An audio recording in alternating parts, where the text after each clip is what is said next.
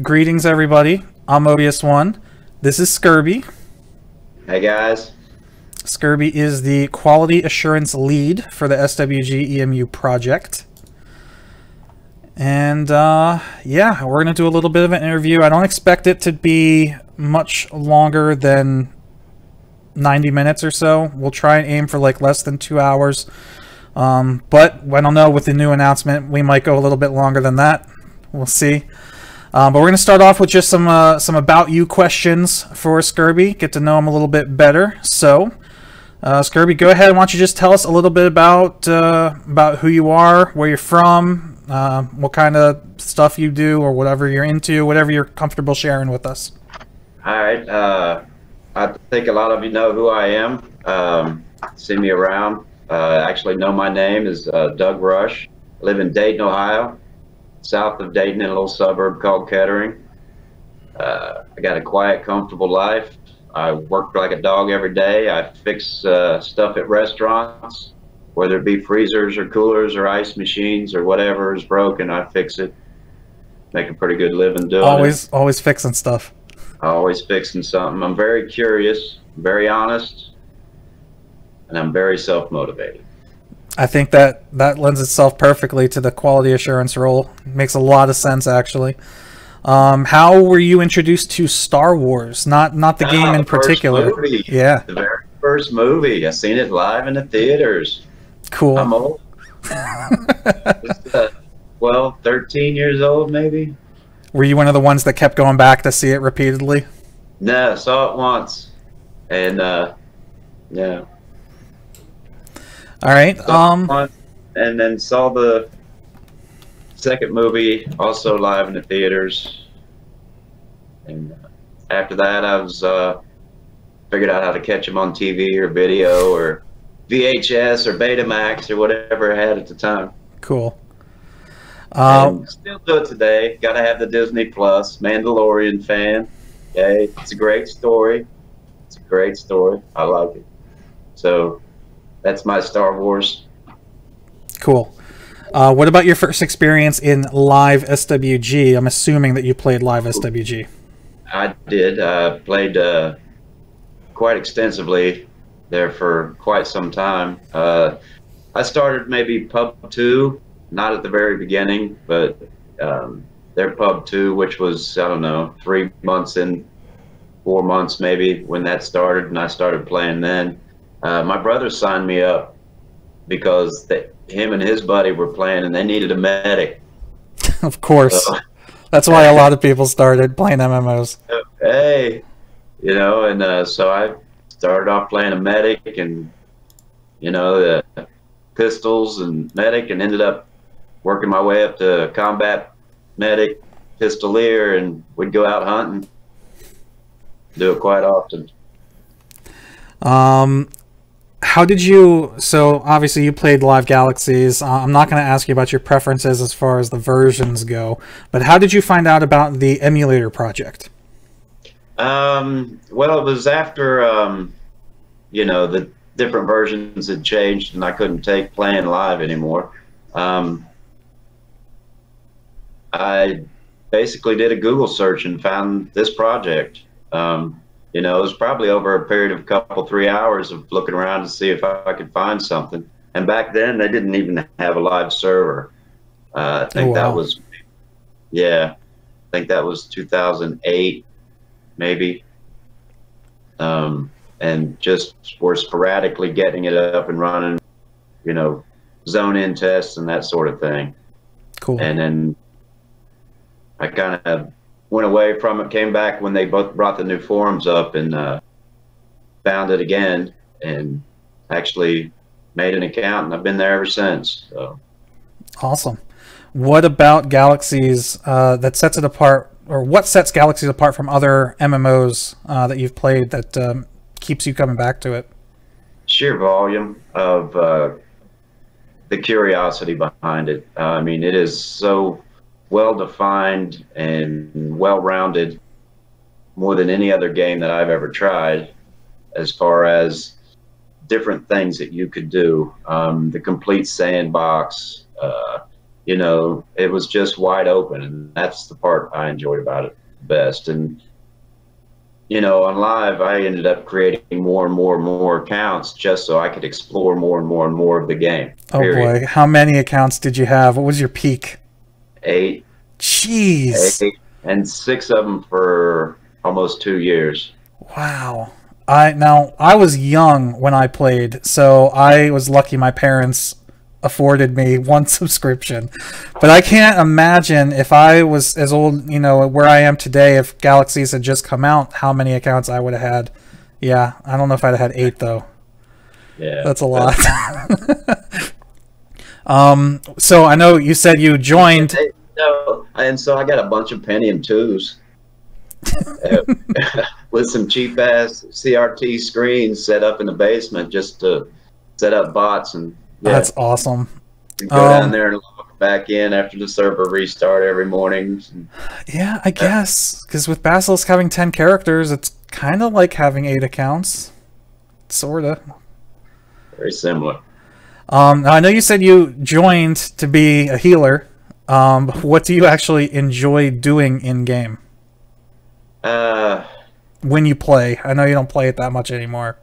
Uh, here's here's the thing that I really enjoy about the game is that what I like to do is to take one idea to its conclusion, and I will go set about doing that. And with ten characters, it's easy to do. And so I'll take one character. Uh, let's say I want to make the best server best bone armor, which I have, and I still own. Nice. All right. I figure out the process to do that create the master artisan, get all the experimentation tapes. So I got 14 points, you know. Um, I go out and find the best components that I can, uh, what hunt whatever I got to loot, whatever I got to, you know, and put all of it together end to end, and then go do the next thing and work it all the way through from beginning to end. Set a goal for yourself. Yeah, and work towards it, and yeah. Cool. Just get lost in that idea and make it the best you can be and have a blast doing it. Very cool. All right, so as far as actually being on staff, how long have you been on the SWGEmu staff? Let's see, I was, I think, February, January or February 2013. Okay. I actually um, became a staff member um, I was uh, hired as a QA on Nova. Um, this was right after a big exodus of all the QA. Um, and uh, Woos uh, was the uh, QA leader at that time.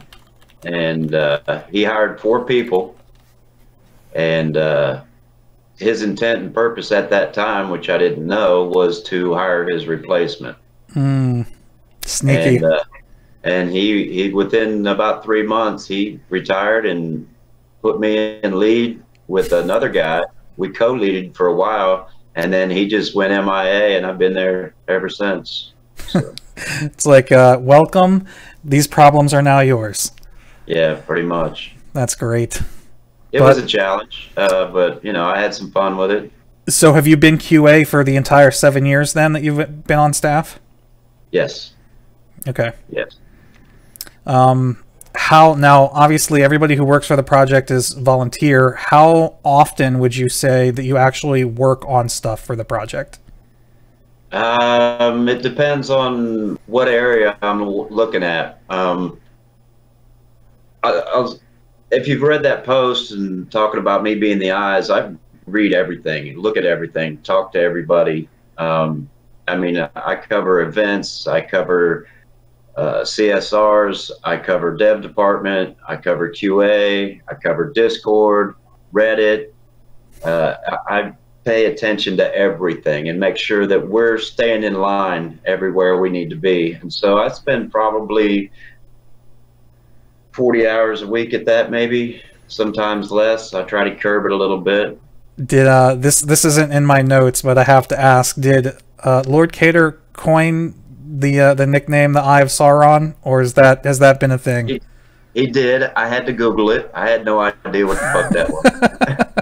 I think I think I smell a new forum avatar in the near future. Really? I don't know. Well, if you're up for it, I don't know if you uh, if you uh, accept that new moniker or not. Um, yeah, it's fitting. You know, it is sort of what I do. I do pay attention to everybody, and you know, and after being seven years in the same spot and have worked with just about everybody, and they know my standards are, you know, and I ask the same from everybody: be professional and do it because you want to. Not going to ask you for your time. You want to give it, it's yours to give. But be professional, do the job. Don't make me have to check up on you. And but you know, I still do. Very good. Um, out of all of the stuff that you've contributed to the project, so bug fixes or whatever, what would you say is the most, uh, the proudest thing that you've contributed, or thing that you're most uh, proud of? In a word, public checklist, published checklists. Um, that was an idea, not mine, that was from Xavier, if anybody remembers her. Um, she had set up a scrum for the entire dev team, QA team, had assigned roles to everybody and processes, and um, it was a great idea in practice for you know people you're paying to get shit done. Um, but it didn't work well for volunteers. And so what I did is I took her process and sort of reversed it, right? And let it work from the other way. Instead of dictating out, okay, this is what's going to get done this week, and you're on a deadline to get it done this week. Um, we just reverse the process. Hey, you can do whatever you want, we'll check it off the list of we got a shit over here. And if you come up with something we ain't got on the list, we'll add it and we'll still check it off. And um, the basic simplicity of, of, reversing her process and putting it into the published checklist so that we could track what we're doing better. Um, all of our merges have gotten better and better and better because of it. I mean, you know, the first you know, pub two, pub three merges, those were a nightmare of days of downtime for bass. Um, where our last publish was what, six hours, 12 hours maybe. Yeah, they have they've been really fast. Yeah, and the stability after that is, you know, pretty decent as well as you know whatever hot fixes we got. You know, we keep a window open there for hot fixes to in case we passed a bug along. So. Um, that's all I think has to do with the way we use the published checklists and, and Mantis together. And, uh, you know, that, that's what I'd have to say I was proudest of. Stuff. Cool. Um, has being on project staff changed your uh, your attitude or your opinion towards the SWG community? No, not really. no, uh, you've, you've always thought they were toxic. I'm be, just kidding. Yeah, be, be quite specific. I, I, mean, I hate everybody, and I'm probably the biggest troll on the open channels out there. You have no idea. And I hate everybody equally. So uh, my feelings about them have not changed whatsoever. Um, just for just kind of take a sidestep here, I'd see people are asking questions in chat. We do have a couple other staff right. members in chat, so if you guys want to answer questions early, go for it. But um, if you do have a question for Scurby in particular, just save it, and at the end, if we got enough time, we'll get to that. We're looking at over here. Yeah, Lord Kator's uh, answering some VPN questions. I don't want to touch that just yet. We'll get there eventually. Okay. He's doing yeah, some some damage mitigation. Yeah, I see. That's okay. Um, all right, so working as QA, what uh, for those who don't know, what are the QA members responsible for? Um, making sure the code is right, that it works right, that it does what it's expected. Um, it's that simple. Um, it's not some arbitrary standard we come up with. We came up with the standard that was already set by 14.1. So, based on that evidence and what we can come up with, their job is to make sure it's done right. That's it. Okay. that includes research, testing, a lot of research, a lot of time spent looking at screenshots, just digging through old archives, but making sure it's right. That's it. So would you say you're also responsible for like the, as far as Basilisk is concerned, the version 14.1 compliance? Is that a QA thing as well? Uh, not so much so, um, because um, there are changes from 14.1 that have been allowed on Bass to um, keep control of the game. I mean, you know, the random spawn timers on the Acklay, for example, is not 14.1 compliant. But you know what? It's the way it is now. um, okay. What additional responsibilities do you have as lead QA? Um, my responsibility to that is to be directly involved with the devs in a way that the rest of the QA team is not. Um, to offer feedback and oversight to their process. Um, as a lead, it's one of three, and each one of those three leads is responsible for oversight of each other's departments as well. So I have to make sure that I can do Niffer's job in an emergency or do Lollander's job in an emergency because they are the other two leads right now. Wow. And they have some sort of idea of how I get things done and how to be able to handle stuff for me if it were an emergency. That makes sense. Oversight, communication, it's important. Yeah, definitely. Um, I believe most of the people watching the stream right now probably already know this, but in case anybody out there still doesn't, what is the process that a player would go through to su submit a bug report? Uh, swgemu.com. Um, it's the same as your forum account. Uh, username and password, log in there. I don't know uh, if it was just me. I don't mean to interrupt you, but I think your mic cut out right as you gave the URL. Let's try that one more time. swgemu.com slash bug. All right. Is it bugs or bug report? Bugs. bugs. Got it. Bug. It did. yeah, that was beautiful. Couldn't have been any better. It almost sounded like you were censored. All right, I'll put a link in the video description too, uh, just for for redundancy. Um, yeah, okay. So they go to that site and there's a form. They have to register and then fill out a form. No, if they already have an account on the forums, they are already registered for the bug reporter in Mantis. It's the same user word and password. Uh, that our global registration. When you sign up on our forums, you also have an account in game and an account on Mantis automatically. And it's the same passwords for all. Same username, same password. That's how you go to report a bug. Cool. Um, now, once a bug is reported, what sort of process is there for QA to try and fix that bug? Well, first figure out if it's just plain bullshit or if somebody just wants to play like this. I'm not uh, censoring him. I swear. It's just it's just the internet. There, you cut out a little bit again, but you're fine. Keep going. Uh, first thing we have to do is to uh, censor it to find out if it's complete bullshit or if it's just somebody wanting the game changed to affect their gameplay the way they want. That's the first thing we got to do is just say, hey, you don't get to ask for that here, or you don't get to have that complaint here, or that's a customer service complaint. You need to take that to support, uh, that sort of thing. That's the first thing that's done is screen it. So you try to re- reproduce it, see if it's an actual thing. Oh yeah, absolutely.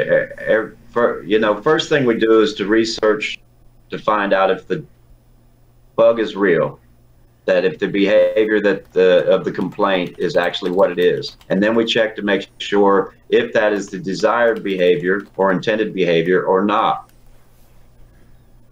and then once we de determine whether it's intended the bug gets closed as working as intended if we find out it's should be different then it gets passed on to the dev team to take a look at at their convenience always always um, if somebody came to you interested in joining the QA team, what would you tell them? Um, you know what? Anybody can QA. Uh, being a part of this team isn't really important.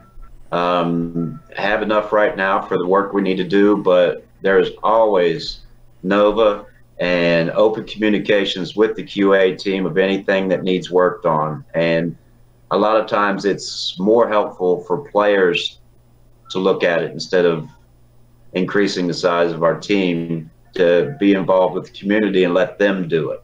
Let them test. I mean, when we did Jedi testing on Nova before it hit Bass, we had tons of. Um, right now, we've got other issues going on on uh, Bass that we're looking at on Nova, and we got community members out there testing things for us and giving us feedback. That is huge. That is part of the team. That is working with our team 100%. I mean, you are treated the same as we are treat ourselves on the inside when we're working on one of those things. And that is the best way just to get involved, do it because you want to. That's it.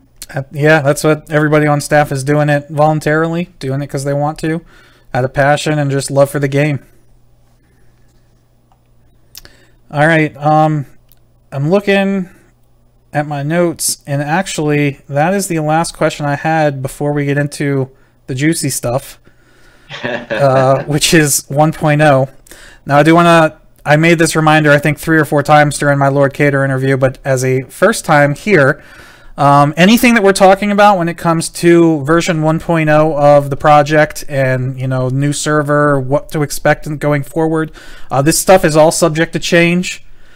So just because, uh, first, I think the first thing that should be expected is that um, we're going to try our best to make this the same for everybody that wants to play that is going to be a key issue. Make sure that everybody gets to play the game, no matter what it is they want to do. And that, you know, is involving a lot of the things that we've changed recently with our terms of service and VPN accounts and that sort of thing. And we're we're going to make it a different place that everybody wants to be, and not some place you can go to um, just have your way. Okay. I mean, professionalism is really going to step up a step. Um, All right, so now about 1.0. What do you see as features that are missing? Like, what hurdles are left to get to 1.0 from where we are now? Um, AI. Um, we basically need to flush out the rest of AI, write a few more screenplays to finish up uh, uh, last few things that uh, are left for the ground game, and we're, we're ready to go. I think. Um, yeah, because the two things that I can think of just off the top of my head are the AI and the whole crackdown with the uh, inventory scanning and that sort of things, and yeah. the gambling, the uh, the machines and the hotels and stuff. Oh, the gambling, yeah. There was actually a working version of gambling at one point, but it was easy to cheat, so it's been disabled. I mean that that seems accurate to me, though. Right. Uh, I don't know. I mean, it's probably not good to be in an MMO, but cheating right. and gambling kind of go hand in hand. I don't know. That's just my thoughts. Well, you weren't actually cheating other players. You were only cheating the, the game. So, yeah, we sort of disabled that. It needs to be redone. But yeah, gambling, crackdown, AI, and uh, that should that should put us real close to where we need to be. No, I, I know. Speaking of which, speaking Go of ahead. which, um, so that sort of moves the project into a different direction. Um, up until this point, this has been an alpha phase development project. That being said, we're moving past that into the beta phase of this project. Starting with today's announcement, we're moving into the beta phase and processing down towards point one, 1.0 really quickly with focus. Cool. Yeah, we can actually. I think today's announcement goes pretty pretty hand in hand with these this line of questioning, so we can kind of talk a little bit about that. And actually, if we want to, let's just talk about that now, uh, in case anybody has not seen that. There is a new forum thread uh, with an announcement. I'm not going to read it. I'm probably going to end up making a whole separate video about it, to be honest. Um, I will post a link in chat for those who have not seen it. There will be a link in the video description on YouTube. And uh, like I said, stay tuned for a video coming probably in the next week or so about it. But yeah, go ahead and uh, just if you want to give us your uh, Cliff Notes version of what's going on. Rule the galaxy.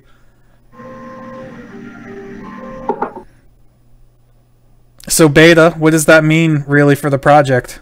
Uh, beta is, is um, 1.0. We know is not going to be 14.1, right?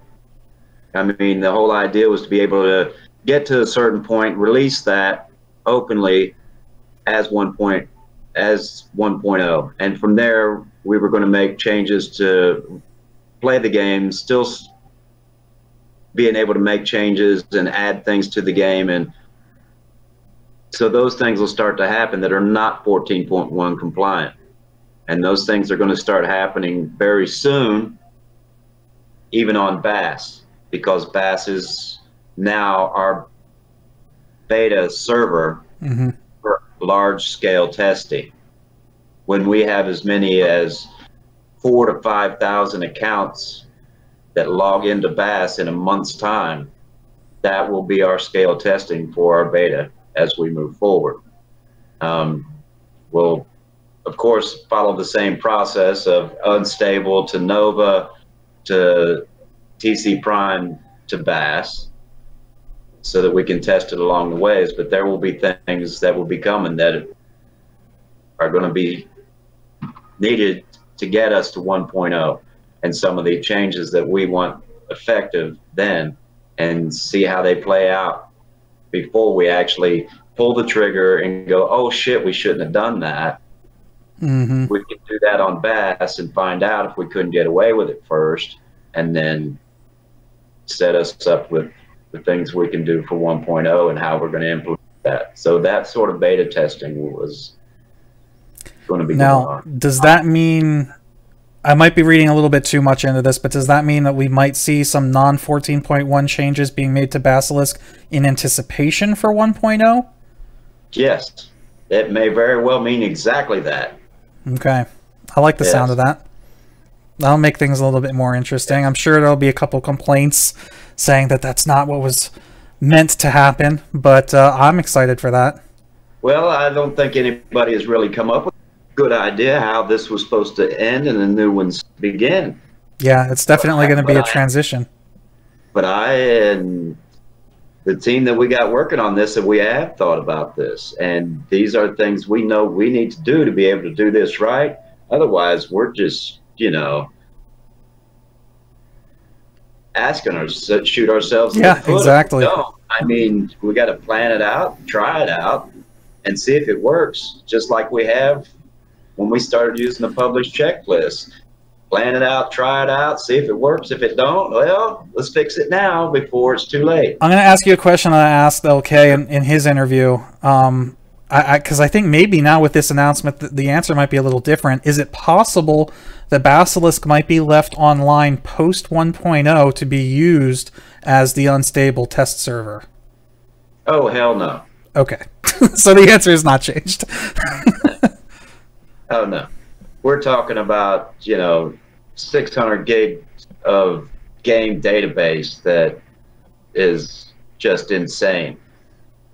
Uh, no, we don't need to store that or keep it or anything. Um, the basic code for that will always be available.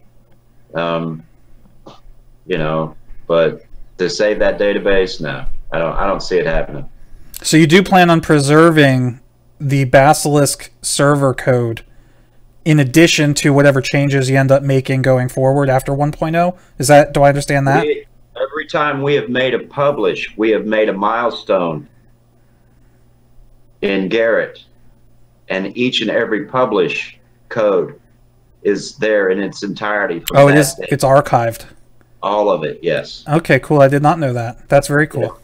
Uh, so yes, that will also be there. There's one. There's a a, a Core Three Basilisk repository right now on Gerrit, if you so choose, and it is basically what we have on Basilisk right now. Oh, that's very neat. Okay. Yeah, but we've been doing that for years. um, yeah. Going back to my notes here, uh, what can players do at right now to help push the project forward? What sort of testing and where do you guys as a team need players to hop in and, and actually test stuff? Um, you know, the AI we've got going on needs some help. Um, we've got a few people over there helping out with the testing and some of that, um, and trying to sort that out. Um, that that's a big deal for us right now. Um, other than that, you know, it's fast. It's still a test server. Um, there's it's kind of hard to fuck it up. It's pretty stable nowadays, but you know, my thought goes back to the old dev rant, uh, which says, "Hey, you know, you're going through the Krayt Graveyard on your swoop, and opening your email while you got your orange hot pants on. Do dumb shit. Uh, do dumb shit and see what happens. I mean, I'm great at that. Yeah. Farrelly's seen me do some dumb shit on my live streams in the past. I don't know if he's still if he's still watching. It's hard to be creative doing dumb shit when you know too much about the game like our our team does. When they've practiced and read so much code, it's hard to even fathom the ideas of doing dumb shit like that. But they're pretty fucking good at it.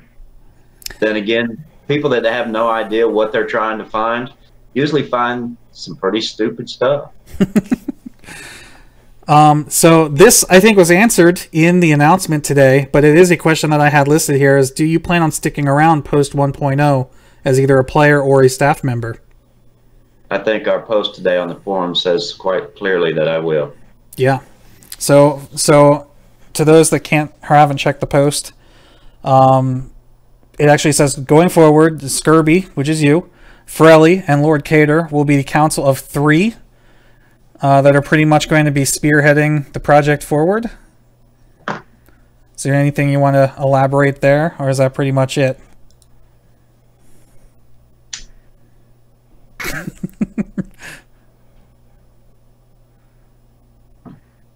All right, so LK just brought up a point in chat.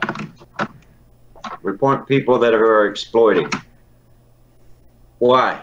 Why would you want to report somebody that is exploiting the game and taking advantage when they're making a getting advantage over you? Would you do the same thing because they are?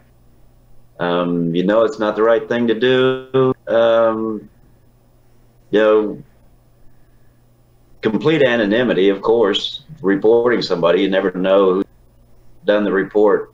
Um, the thing is, is why would we want to let an exploit exploit go on? Um, anything like that, we want to stop it and fix it so that the game is still the same for everybody. I mean, the idea is to have fun, not get over. We make sure everybody gets to play. I love reading some of these comments. this ain't the pub. hey, he's home. He can do whatever he wants. Yeah, I'm at my house. I can do as I please. Um, oh, that's yeah. Oh. Oh yeah. There's there's a.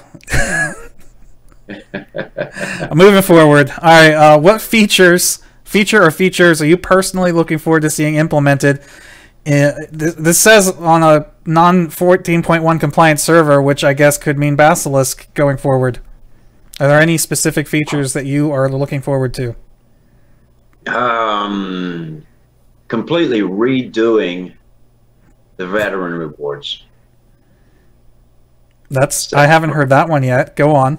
I'd like to see the veteran rewards completely redone uh, instead of being the 14.1 point 14.1 version that we're using now, something that's more relevant to how we're going to present the game. I think that's a big thing. Uh, changing vet rewards around, um, changing up the loot system. Um, I really dislike the amount of junk loot um, and the fact that there's so much of it. It's easier to delete it than to take it to the junk dealer. Uh, so that that's a, an issue for a sticking point for me. I'd really like to see loot cleaned up in a way that makes better sense um, and supports a long-term economy. Uh, that's a big deal. Uh, supporting a long-term economy, um, maybe increasing decay on certain items, fixing decay on clothing so that when it does have zero, you, your tapes are bad. Uh, it don't. Speaking of decay, yeah. Is there any anything in the game right now that might be preventing that that you might want to address? Talk about the ADKs. Oh, those those exist. Oh, Wait, those, those ADKs. Um, you know, there. Here's the thing: is I'm not going to decide. What I am going to do is I'm going to gather a whole bunch of different information about these things, uh, different ideas and suggestions. Right, and I'm speaking specifically about the ADK. And so the idea is, first of all, fucking ADK, out of here. I didn't say it. ADKs. All right. Second thought, make it no trade. Now it's priceless. You get one, you keep one. That's it. I, have been a huge supporter of that choice right there. Another process, another thought process is maybe put them, give them decay themselves.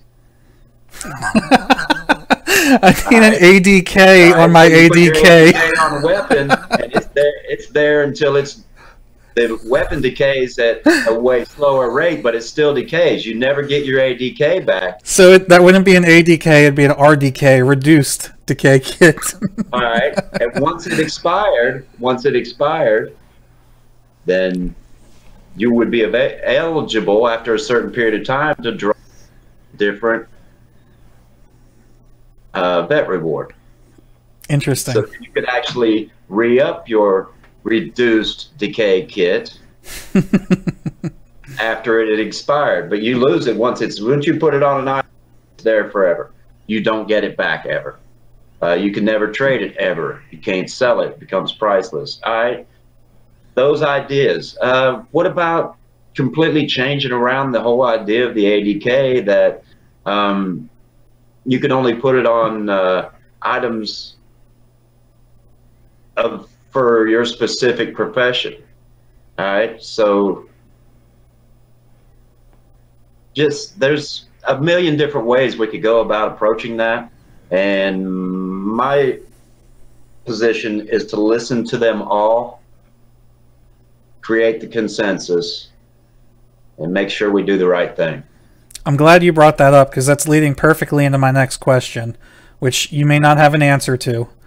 Uh, when it comes to who's going to be making these decisions on what changes we can expect, do we have any idea yet how those choices are, or how those decisions are going to be made?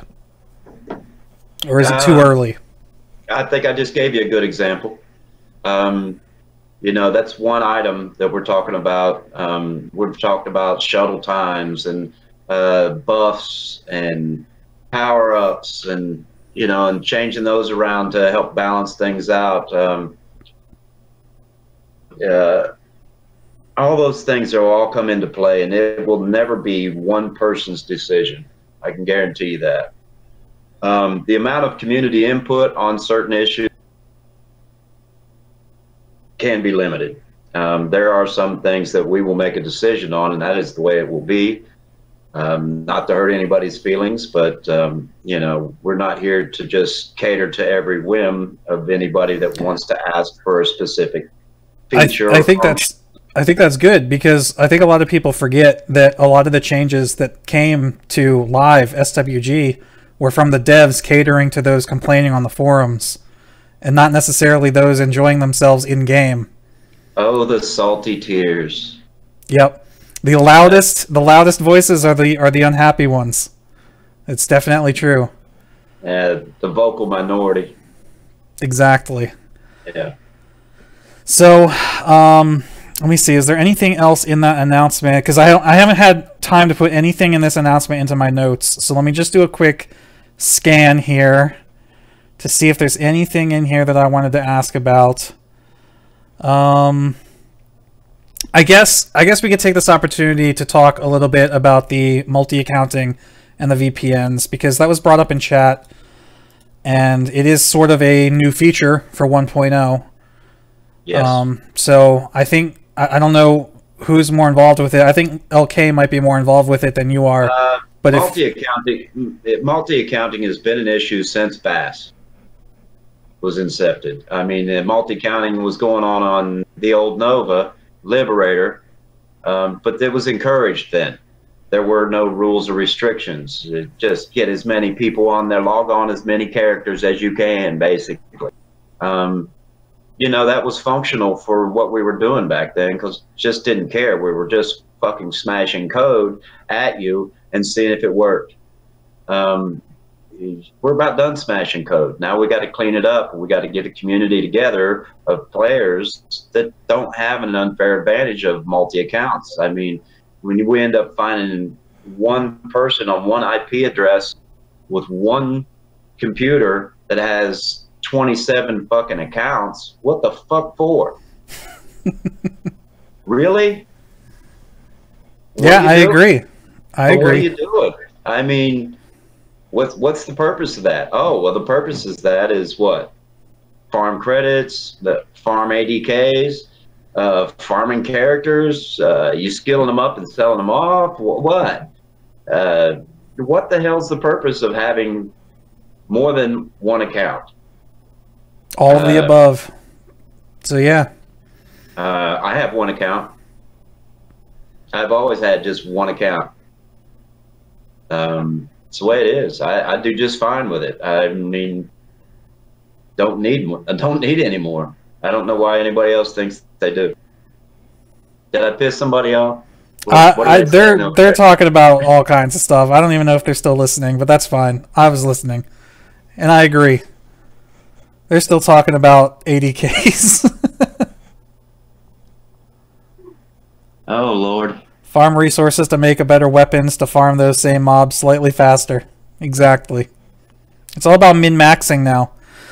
There was a, it was hard to min max before we had uh, all this information about how the game actually worked Yes. back then. Now that we now that we know all the code, it's it's a totally different game, unfortunately. Which is why I think LK said uh, a little while ago the mystery. Yeah, there he is. Bring back some of that mystery with 1.0. Mystery. Yes, and that that that is very important. I mean, I, I stress that to our our staff when we're talking about the vision of you know is that we have to maintain mystery, um, and so with 1.0 they won't have a complete open set of code to go and see how it's done before you get there. There will be no open path to just see how everything's go. I mean, dude, how are you going to get Jedi? How are you? Is going that to get something Jedi? that's on the uh, table for changing? Yeah, well, it should change, don't you think? I Should it I be do. a set path? Should you I don't have? I don't know Should if you already have a set path to get there and already know what it is and jump in there and be the first Jedi because you already fucking know? Where's the mystery? I think what would be great. There will is be if mystery. if somebody smarter than And myself. those, and those will be the decisions that the community won't get a say in. Interesting. You'll get to give ideas, but you won't really get to say because that has to say closed. That's the only way a mystery works. If you give up the mystery, what the fuck?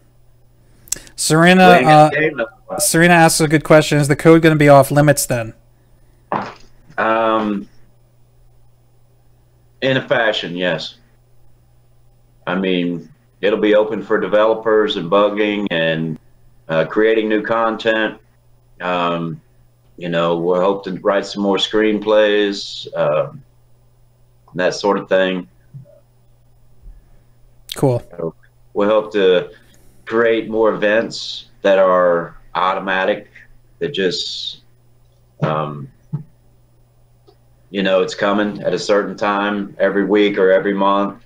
Uh, this is coming, and it's all run by the the server. It's all part of Core Three, and all that'll be open, be able to share with other people. But you know, the actual mystery of the game. There's a reason there's custom folder. Speaking of, speaking to make use of it. speaking of events, Yes. uh, there's been a new addition to the to the staff roster in the form of an event coordinator, Sugar Lizard. Sugar Lizard, who I believe is in chat now. I think I saw her name pop up at some point. I did. She said, "Hey, Um, yeah, that's one of the things that I think has been missing from Basilisk for a while now. Um, I know, I want to say, uh, Weedy used to do events. uh, yeah, a little bit." Her and Neffer used to work together doing. it. Yeah. Yeah. Um, and I think some of the greatest footage that I've ever gotten on my channel is from some of those events where hun- literally hundreds of players would come out and just like have huge PvP battles, or like that PVE event at the, on Yavin, the Massassi Temple. Um, Yeah. It would be great to see those come back, but I know Sugar's done a couple events already, with one coming up next weekend, um, and you're quite involved with them as well. Is that correct? Yeah, um, you know, Sugar actually had an application up with me for almost a year for an event coordinator. Um, Niffer was overwhelmed just with CSR. We had left, so we had no event team. Um, at the time, the QA wasn't doing anything because we were stalled, uh, waiting on a publish. And so I says, "Hey, you know, Nif, I'm going to take it over here and see what I can do with it. Um, got the QA guys involved with it. They set up a couple of events, uh, got creative with it, gave them some ideas, and got creative. Uh, we started making documents and getting things together. Um, then LK started pressing me about Sugar Lizard, how I'd left it hanging for so long. And, um, you know, she's really involved with the community on the server. Um, and I thought, you know what, I'll run her through the ropes. And she's done an amazing, amazing job of just creating some situations in game for players where they said, heck yeah, they were immersed, they had fun. Um, if it was for an hour or two, they enjoyed it, and that that's a big thing. I really, uh, Yeah. I came out to at least one, maybe two of her events that she's had already, and I, they were really fun as well. Um, and there is one for those that are watching this live. Uh, there is one coming up next weekend, like I said, a Winter Olympics event. Um, Sugar, if you want to, actually, I could find the the link and post it in the chat as well for that, because it's right here. Uh, so yeah, so that's cool. I'm glad to see more events happening. Well, it's important to say that Sugar has the, my full support and support of the QA team and the devs um, to do the things that she's doing. She's not just making shit up and doing it on her buddy helping her out. Um, sh- she's asking a lot of questions and she's learning a lot.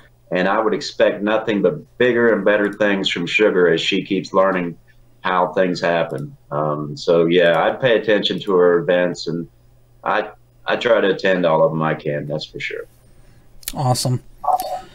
Uh, let's see. After that, that's really the end of my notes. We went through that super quickly. Um, Yeah.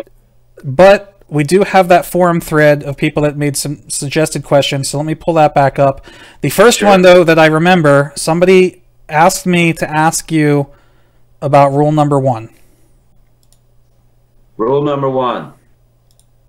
It's a staff rule. It applies to all staff at all times, no matter what they're doing or who they're talking about.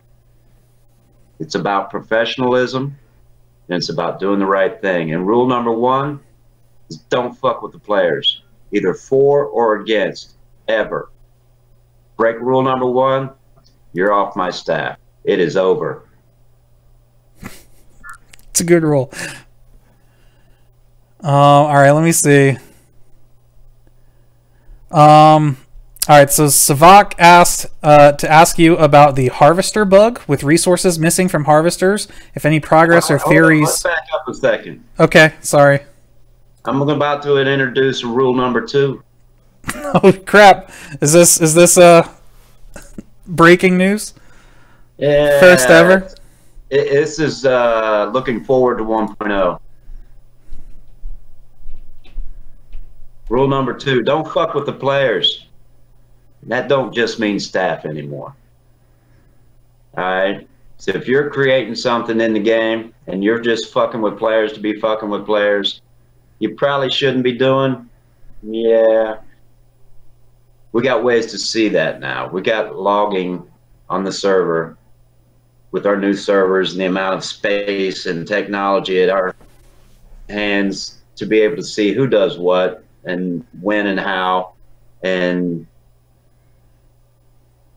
to be able to watch the game through metrics and unit testing that gives us constant feedback on gameplay while it's live.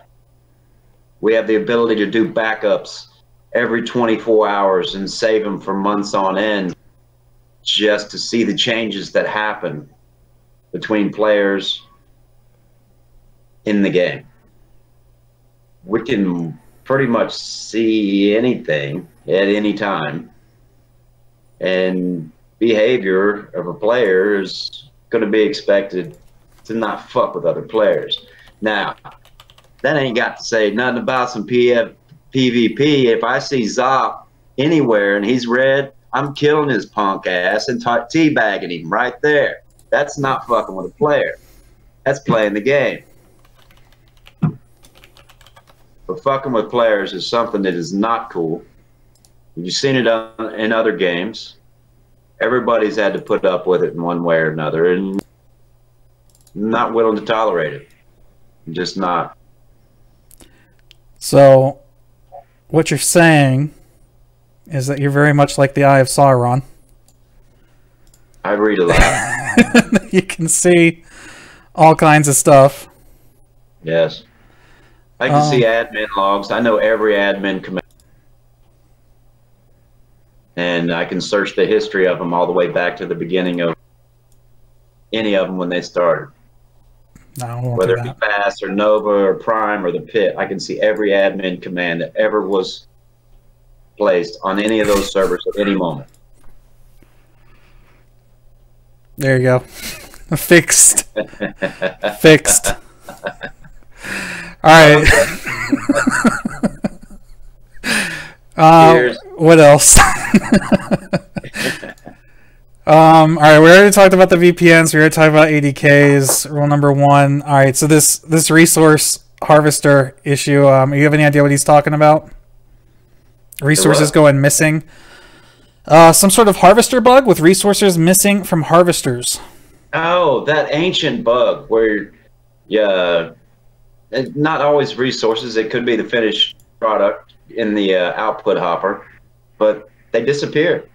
You hard log and log back in. Sometimes put somebody else on admin, and they can look at your harvester, and there they are, but you can't see them. Hmm. That bug has been forever. God, somebody please help. No, no Who progress. No idea how, what's causing call, it. Should I call John Smedley? he might know, right? Um, God. Yeah, it, it's it's a valid bug, and it has been forever. And we all know it's a problem. But if we ever found it, uh, I figure we will. Um, we're getting into beta. We want to clean all that shit up. So um, at this point, it's very been very ignoring, and it's been on Bass since Bass has had factories. So. Uh, Loriana, who has actually on the forums QA semi-active as her title, um, yes. Says, how can the community help QA uh, with and to prioritize Mantis tickets that are in feedback status? Um, we the QA team has recently went back in Mantis. Um, if you look at some of the tickets nowadays, they have uh, versions as a part of each ticket. Um, most all of them. We haven't cleaned up all of them yet, but they have versions assigned to them, whether that be to a particular publish, whether it needs more research. Um, so we've changed the categories that are available in Mantis for our QA to sort and put things into separated buckets for clarity. So a good hard look at Mantis, if you hadn't been on there in a while, would definitely help uh, figure out how we're approaching those things and seeing what items need feedback and which of them are, you know, proving a negative uh, or, you know, the research just hasn't panned out to anything. And so it's still on feedback. Um, we've changed the way Mantis works to try to address those things. Okay. Um, I hope I'm pronouncing these names right. Arox or Arox asks um, if there's been any uh, work or discussion about the commonly incorrectly critical called critically successes when it comes to crafting with the ability to craft beyond normal stat caps. Is that something that you guys are considering changing for 1.0 um, that's a hard question. Um, it's not something um, could commit that we would or wouldn't change, of course. Um, but you know that we're looking at a lot of different things that can change, uh, you know, the entire way the game is played out as far as you know buffs or crafting or resources, um, resource stats. Um, you know, we've considered ideas of adding. Uh, the way resource stats, if you use an item that doesn't have the required stat that the schematic is asking for, you get a 100%. Uh, we thought about changing that to make the stats actually apply um, so that crafting with those items, you know, will matter. Um, let's say you're making a, a, a food additive from a BE product. All you got to do is add water, any water, don't fucking matter right? Yep. Make the water matter. So there, so slight changes to the crafting system to give uh, meaning it's to certain all, things. All of, all, of, all of those things are possibilities. Yes. Right. All right. Again, second reminder: everything we're talking about post 1.0 subject to change. Subject to change. Absolutely. Um, ideas, there's ideas. Yes, there's a ton of ideas out there, and we've discussed a lot of them. What will actually happen? We might try some of that on bass in this beta phase while we're looking for it and see how you guys respond and see how it works and what do you think. That may actually happen. Um, all right, so there's a lot of questions that I'm just going to blanket cover by asking Is there any chance the team will ever either be able to or attempt to make changes to the client to address certain client side bugs. For example, the friends list never saving notes, um, the food or drink fill bar not fitting correctly on the character sheet, or the data pad uh, not saving certain settings.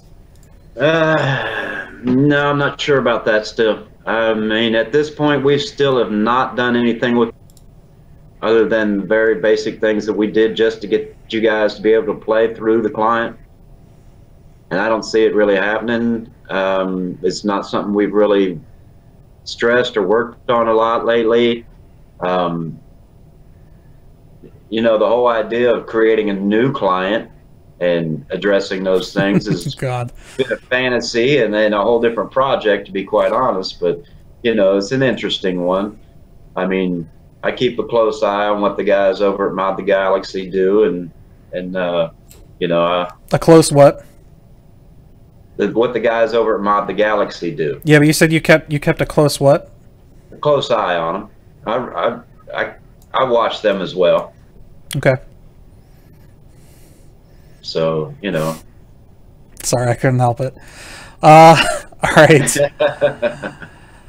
um, again, another question I get a whole bunch asked. Uh, well, the ADK one we already answered. Um, and I think you. This is very this is i love the way this was subtly hinted at in the announcement.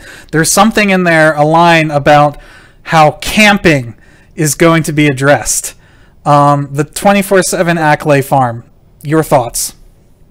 Uh what about any of the cavern spawns that are desirable to the looters. Uh, what can we do to make it, you know, something that everybody gets a chance to play instead of those just sitting there waiting on it because it's going to be this location. What if we randomize the locations? What if we made triggers where you had to kill X amount of NPCs to be able to even get the trigger to set it off and then find the location? Yeah, mystery. there's a million ways to do it, and uh, yeah, as LK keeps saying, mystery. A million ways, and all are deviations from 14.1, but you know we're looking at 1.0. So I mean, the ideas of being able to relieve some of that camping, uh, yeah, is a big deal for us. I think uh, we'll be doing something to look at that and uh, ways that might play out, how it affects the community, how it affects gameplay. Absolutely. Now, I'm in no way obviously associated with the team, so my opinion is simply my opinion. I said it during the LK interview, and I'm just going to say it here to put it on record. Okay. I think the two simplest solutions to the Acklay issue is either eject the party out of the dungeon, just similarly to how the DWB ejects the party once you craft a jetpack or a piece of Mandalorian armor, which will force the party to have to go back through the dungeon, or just add one or two random world spawn Acklays, similarly to how the Gorax works on Endor, so that there's at least another source of resources. That's just my opinion. I now now I will I will point out your opinion mm-hmm. is limited to what you already know about the game. Yes, exactly, exactly. Ah, so there's ah, so uh, like I said, I'm looking for creativity to get to that next level, to create yep. a different mystery. Got yep play the same old mystery we've gotten used uh, Somebody asked, um, I missed who it was, uh, instancing. Oh, Pooch. Instinct is instancing an option, similarly to the Corvette. Uh, yeah, it is. I mean, there, it is, but you know, it should be said that those is those sort of things are not small projects. Those will be, those are large projects and take a lot of work um, and a lot of dev time to create those. Uh, so yeah, those sort of things are possible. I, I, think the same thing can be said about a lot of the stuff that you guys work on. Correct me if I'm wrong, but I think uh, the community thinks a lot of the stuff that you guys do is easier than it actually is. They're like, oh, just just make this change, and that change is like a month's worth of work. Yeah, well, you know, our dev team is pretty fucking awesome. They make shit look easy. we've been blessed with a great dev team. So. All right. What else? I'm I'm kind of going back and forth between the questions that were submitted ahead of time and and chat. Um. Uh, are they talking about anything over there? Oh, there's there's all kinds of stuff going on. Troll. You know how hard it is for me not to troll these fuckers. How much? How all right? How about this? How much uh, are? Mm, what's the best way to phrase this? Are there any NGE features that you would expect to see added post 1.0? For instance, new armor, new housing, new vehicles, multi-passenger vehicles, um, stuff like that. New housing, new vehicles. I see that as a possibility. That's not really that big of a deal. Um, multi-passenger, we've worked on that a little bit, but haven't printed it yet. So you know, that's not in there, but I don't think we have any vehicles that are already modular. Oh, just the just the X31 and X34 speeders, but it's the land speeders. Yeah, yeah. nobody's going to be riding them around anyway. Yeah, those would be the only multi-passenger vehicles, but we have tested around. Or the AV21, AV21 also. Does it? Yeah. Yeah, it does, doesn't it? Okay. Um, yeah, Nair here, uh, jetpack disabled, repairable. So about like vehicle restoration kits. I don't know. Mm, I guess that's gonna that's gonna depend a lot about uh, on who the team is making the decisions, if they like that idea or not. I don't know. I got a jetpack. I got it disabled. I had to go get another jetpack. I played the game to get it. uh, changing weapon power up and shield generator duration durability. This is all like system design balance changes and stuff. Yeah, um, I'm not going to get into any specifics about any of that, but you know, there's quite a few things that are possible to change. Um, we do want to make sure that we look at the long-term stability of the community playing the game. And that includes anything we can to make sure people can still come back and play five years, 10 years, 20 years from now. And that's important to me. Um, huge question that actually a brand new forum thread was started, I think, yesterday or the day before. The people are still asking about. It's hard to believe the mission payouts being divided. Yeah, um, th- that's a pretty good one. I mean, I know no 15.1 rules. Um, but then again, if we, uh, you know, I'd, I'd like to see something possibly, in just my opinion, because I don't have the final say on anything. Um, I'd like to see us remove that, but then uh, change the way payouts are done in a group a little bit, um, so that you get your payout for yours, but if you have helpers, they get maybe something. Um, you know, a way to get group dynamics back involved in the game. Um, to just cut and paste one way or the other, either turn left or turn right. No, I like to think that there's some alternative somewhere in between that we can come up with that makes mission payouts and grouping for missions viable again instead of just straight solo groups. Um, you know, I think I think that would be far more engaging for a community as a whole. Okay. Um, I know ASCIIFAB is asking about the character limit. There's been a huge discussion about that. Um, I don't want to put words in your mouth, but I think the general consensus is it's better to start with fewer with the potential of adding more later.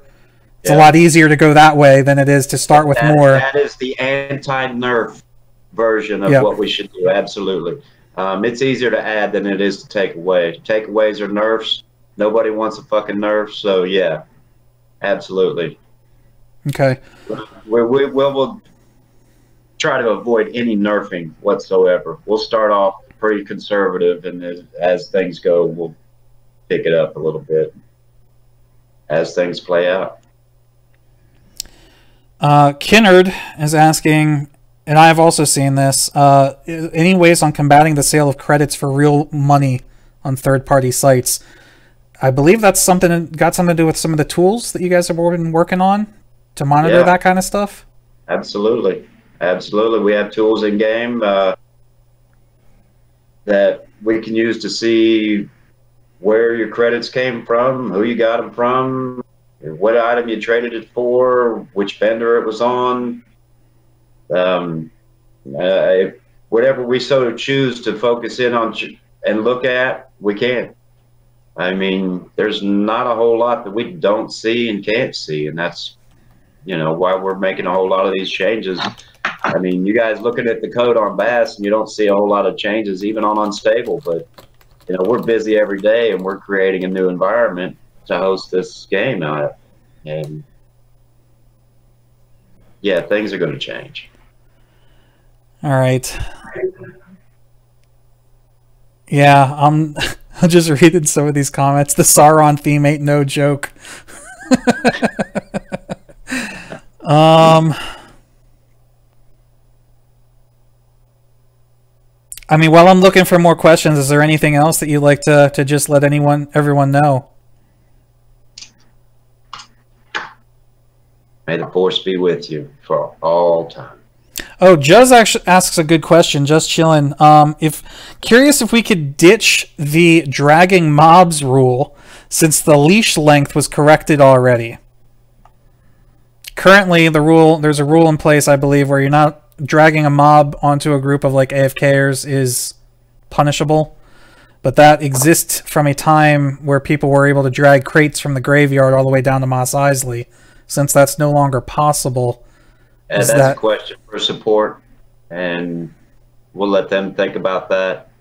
And if they have a question, they'll pose it to the leaders, and they'll let them decide. There you go. Uh, yeah, the rules, they are what they are. I mean, not going to consider even talking about any changes to the rules without it going through the entire support system and our entire staff. Nobody talks about the rules or makes any changes to the rules ever on their own. This is always done in unison, unanimously between the entire staff, or it's not done. I see a lot of the questions are all, or a lot of them about system balancing, um, like making faction armor good, making right, the so lightsaber more. Let me let me answer all of those in one fell swoop. Okay. What you want me to give you the answer now, so you don't got to fucking deal with the mystery? Is that what you're asking me? You don't want no mystery in your game. You want the answers now. Is that how it goes? No thanks. Play the game. I like it. Yeah. Um. Ah, Red Huts. I like that. Multicolored bounty hunter armor. Can we have that back? can, can we have that back? Multicolored. Yeah. Oh my god. I don't know why that was taken out. That that was very disappointing. That's a good one. That's a good one. And it is a stupid change. Yeah, you know, it was fourteen point one. All I mean, right. Custom, customization of in-game play. I mean, there's a whole lot of we can do to open yeah, some of that. What, might maybe armor color customization kits let you recolor existing armor, or even you know like the way you do a composite. Make yeah. a consumable item that lets you recolor any armor. Why not? Why not? Um, yeah, make it, this make it something you have to take your armor or your clothing back to.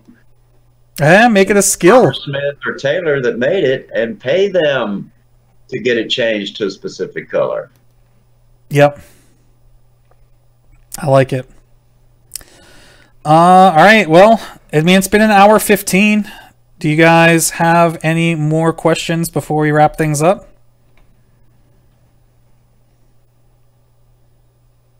That went way quicker than the LK interview, but I think because of the whole JTL announcement back then, there was a little bit more to talk about. Did you want to touch at all at JTL? Uh, JTL, um, you know, we've got a basic framework we've got to get together. The architect you know, we're really going to need some devs, uh, you know, to do some Lua, start punching in some data to fill it out. Um, so we do have an active JTL interest channel on uh, Discord. You can see text Lord Kator um, and ask him for an invite to that channel to talk about some of the discussion we have about it, what's going on there.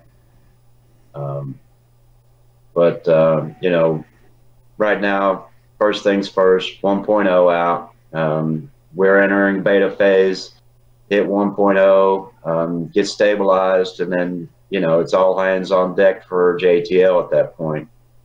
Um, so, yeah, uh, it's not too soon to start thinking about it. That's for dang sure. Yeah. Okay. Uh, also just threw in one more question. Can you speak at this early stage about the long-term financial cost once 1.0 is launched and Basilisk is decommed? Will it remain about what it is now, or other funding sources uh, other than player donations being considered? Um, we have talked a little bit about using something just slightly beyond it.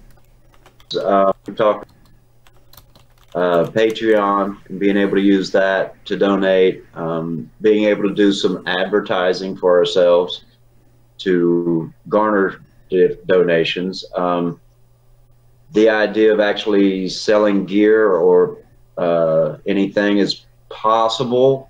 Uh, depends on how we approach it. I mean, we can't overstep our bounds with the mouse, of course. Um, so we know we need to be able to, if we ever do market any products like a cup or a T-shirt, um, that we do it properly, and then you know nobody makes any profit off of it. Even a micro transaction is considered a no-no. So Yeah, I would be I would be careful walking or uh, talking about selling in-game items for money. Um, just the thought of you know getting advantages over other players, making uh making SCBG EMU. Yeah, see there it goes. Did I hear pay to win? No, you yeah, no. not. It would have to be strictly cosmetic. You could, yeah, you could buy a coffee mug because you want to buy.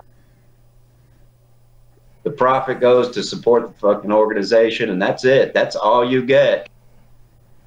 You get a coffee mug for your money. you can say, "I got a coffee mug." All right, then I only have one final question before we uh, wrap everything up, and that is, what is the release date for oh? 1.0? Uh, that would be Sun Crusher 2009. Uh, yeah, that's that's pretty much Uh, exactly what I which- expected. Speaking of which, uh, ETAs are never spoken of. Soon um, is always the answer. Um, and here's a something to leave y'all thinking about. It won't be called Sun Crusher. Oh, is that official? I know that was discussed. Um, we're actually talking about having a community event where the we take a suggestion of some names. Um, I've actually asked Sugar to look at how to set that up and evaluate that. That we take in community input on what the name of Sun Crusher will be.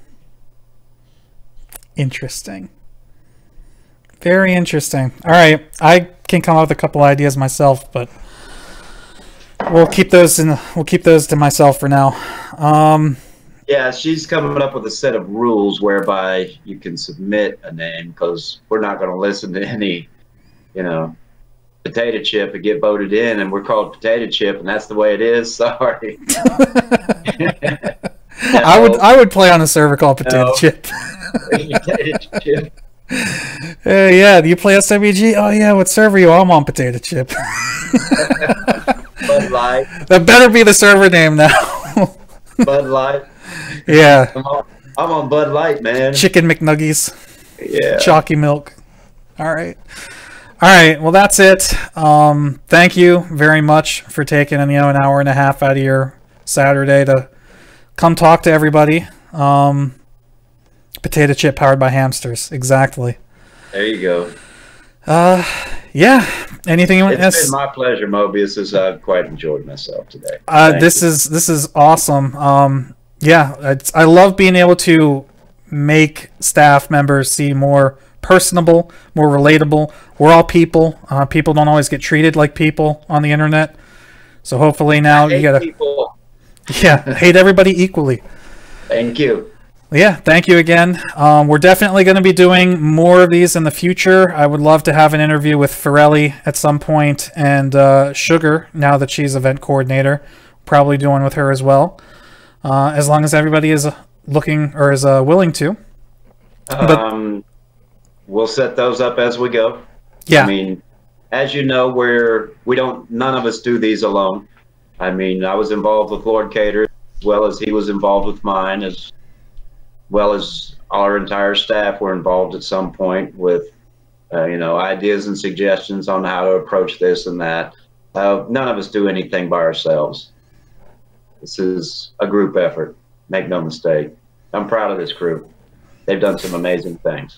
you guys in chat are hilarious. Make Raph Koster next. Yeah, that'd be great. Um, and we'll have uh, we'll have um, Smedley after him.